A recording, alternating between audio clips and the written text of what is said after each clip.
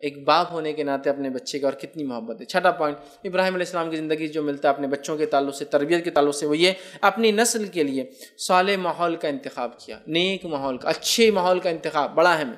ہمارے پاس بہت سارے لوگ اپنے بچوں کے لیے برے ماحول کا خود چوائس کرتے، انتخاب کرتے ہیں اور پھر بولتے، بچے کیوں بگڑ گئے؟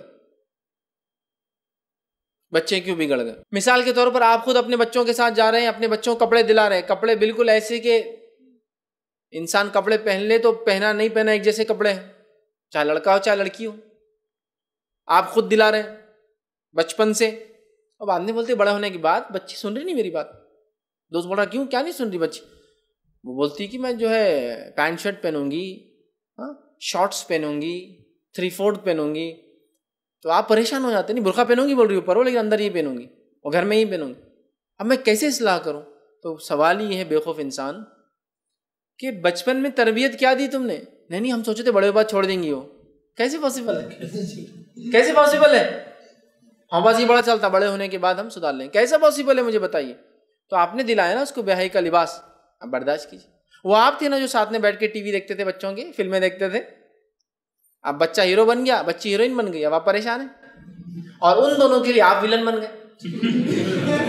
سی بات بیٹا بولتا میں ابا اس سے شادی کروں گا۔ ان کے ابا راضی نہیں ان کو دینے کے لیے۔ بیٹی بولتی میں شادی اس سے ہی کروں گی۔ ابا بولتے میں راضی نہیں ہوں لڑکے سے۔ چونکہ وہ فلمی ہے، میں دیندار ہوں تو کوشچن یہ ارائز ہوتا ہے۔ آپ نے تو خود فلمیں دکھائی۔ اب کیوں پریشان ہوتے ہو؟ نیک اور صالح ماحول کا انتخاب۔ بہت اہم چیز ہے۔ ابراہیم علیہ السلاۃ والسلام نے نیک اور صالح ماحول کا انتخاب کیا اور وہ دعا جو آپ نے کی تھی میں نے اس سے پہلے دہرائی۔ ربنا انی اسکنت من ذری بوادی غیر اے اللہ، میں اپنی ضروریت میں سے کچھ کو، اپنی اولاد میں سے کچھ کو ایک ایسی وادی میں چھوڑتا ہوں جہاں کچھ اگتا نہیں ہے۔ ان دبیتک المحرم، تیرے محترم گھر کے نزدیک۔ ربنا لیقیم الصلاۃ۔ اے اللہ، یہ نماز قائم کرنے والے بنے۔ مطلب ایسا ماحول بنا دے اللہ ان کے اطراف کی نماز پڑھنے والے بن جائیں۔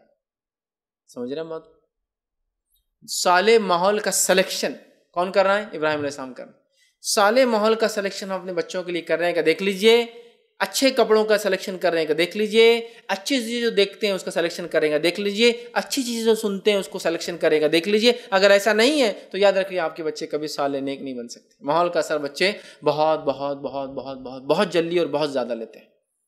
بچے کو آپ نے اتنا اچھا رکھا، اتنا دینی تعلیم دی، تین دن گئے اور گالیاں سیکھ کر آ گیا چونکہ برے بچے کسی ماحول سے اثر انداز ہو جاتے، گالی سیکھی بہت سنبھالنا پڑتا صالح ماحول، ساتواں پوائنٹ جو ابراہیم علیہ